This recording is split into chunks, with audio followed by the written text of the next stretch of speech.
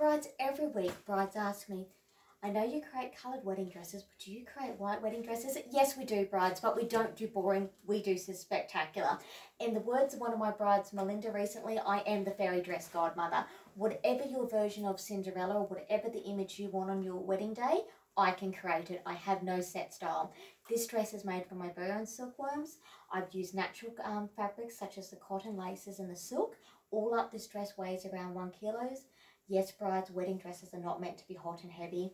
We've got our inbuilt bra, our matching veil, we've got our pockets. This is all hand beaded. The beading on this took over four months roughly, and I'm just loving this pleated detail. It is absolutely stunning.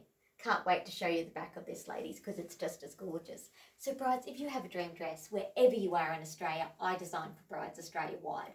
Like and message me at my Facebook page, and let's get designing. Loving this, darlings. Gorgeous.